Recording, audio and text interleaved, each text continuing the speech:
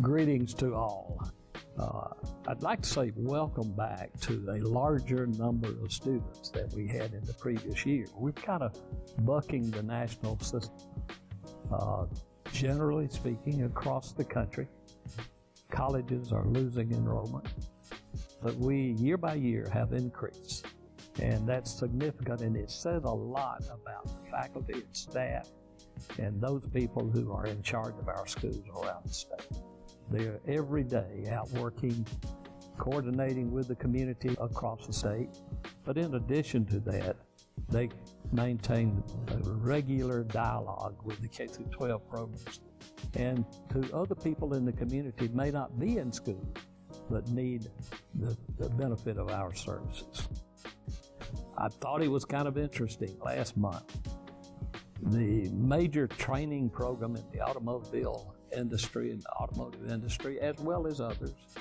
Uh, the FAME program, which is a national program, the manager of that whole program across the country was here in the state of Alabama and said that the Alabama model of the FAME program is the one they often refer to as the model for the nation in training for that particular kind of training, that particular skills that are being taught. We're excited about that because we worked hard and that program has reached from one school. Now we have that same program in many of our colleges. And we want to continue to grow that program and be a leader in the training. Another area that we don't spend maybe a lot of time talking about is our adult education program. We happen to have one of the most innovative and it's not just casual, it's not just incidental. We've tried. But we have one of the most innovative adult education programs in the country. Uh, our people from the adult education area participate across the nation in talking about what we are doing. But we still want to grow that. We have many people in this state who need the advantage of participating in some short training programs that would help them be able to deal, for example, with technology more effectively.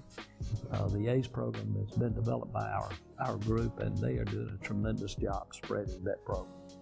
So as we move forward, I want you to fully understand we're excited about every aspect of what we're doing, whether it be in the academic preparation, the workforce training, the adult education, or the health sciences, or whatever it may be. Uh, and I just want to express the appreciation that we have in my office for the presidents, their staff, and the faculties that are making all of these things happen and making the state of Alabama a better state for everyone. Thank you.